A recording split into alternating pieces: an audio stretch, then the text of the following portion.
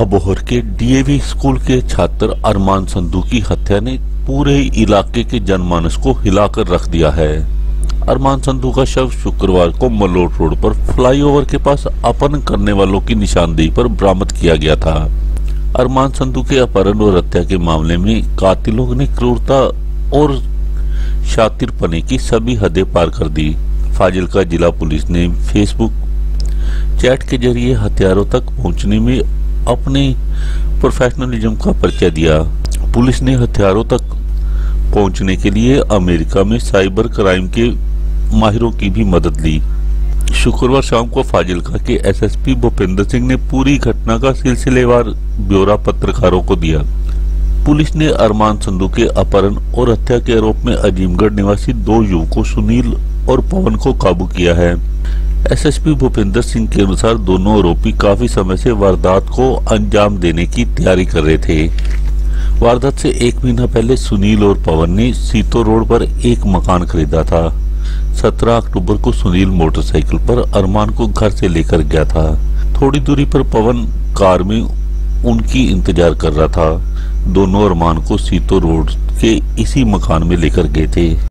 18 अक्टूबर को आरोपियों ने रस्सी से गला दबाकर अरमान की हत्या कर दी थी। 19 अक्टूबर को दोनों ने अरमान के शव को मलोट रोड पर फ्लाईओवर के पास खाली जगह में दफन कर दिया था। एसएसपी भूपेंद्र सिंह ने बताया कि सुनील और पवन अरमान के परिवार से अच्छी तरह से परिचित थे। घटना के बाद भी दोनों संधु परिवार के संपर्क में रहते थे। इससे उनको परिवार और पुलिस की गतिविधियों की जानकारी मिलती रहती थी और वे शक के दायरे से भी दूर रहते थे। आरोपियों ने अरमान के फाइनेंसर पिता बलजिंदर सिंह से कर्ज भी ले रखा था। एसएसपी भूपेंद्र सिंह ने बताया कि 15 दिन पहले बलजिंदर सिंह को एक रिक्शा चालक के माध्यम से एक पेटी भेजी गई थी। इस पेटी में दो ईंटे और फिरौती की मांग वाला पत्र था। उसके बाद अपहरण करने वालों ने एक फेक फेसबुक आईडी बनाकर परिवार से फिरौती के लिए संपर्क किया। फेसबुक चैटिंग के लिए वे खास तौर पर मलोट से पुराना स्मार्टफ़ोन लेकर आए थे। चैटिंग के दौरान भी वे अलग अलग नंबरों के हॉटस्पॉट का उपयोग करते थे। हत्या से पहले आरोपियों ने अरमान की कुछ तस्वीरें और वीडियो रिकॉर्ड कर ली थी। फिरौती के लिए चैट करते समय वे इन वीडियो और फ़ोटो का भी इस्तेमाल करते थे। अपहरण करने वाले दोनों आरोपी परिवार से दो करोड़ रुपए की मांग कर रहे थे। एसएसपी भूपेंद्र सिंह ने बताया कि एक दिन पुलिस ने एक अपहरण करने वाले को सात घंटे तक चैटिंग में उलझाए रखा। इस दौरान अमेरिका में फेसबुक के साइबर क्राइम एक्सपर्ट की भी मदद ली गई। इस कवायद से पुलिस अपहरण करने वालों की पहचान करने में सफल रही।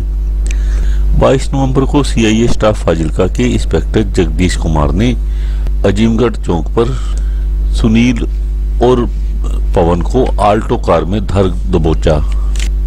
उनके कब्जे से बरामद मोबाइल में अरमान की फ़ोटो, वीडियो और फिरौती के लिए की गई चैटिंग मिल गई। सख्ती से पूछताछ करने पर दोनों ने वारदात का पूरा राज खोल दिया। शनिवार को गमगीन माहौल में अरमान संधू का अंतिम संस्कार कर दिया गया। अदालत ने अरमान संधू के हत्या के आरोपी सुनील और पवन को पाँच दिन पुलिस रिमांड में रखने के आदेश दिए हैं। अरमान संधू की हत्या ने अबोर के अभिभावकों के दिल में दहशत भर दी है।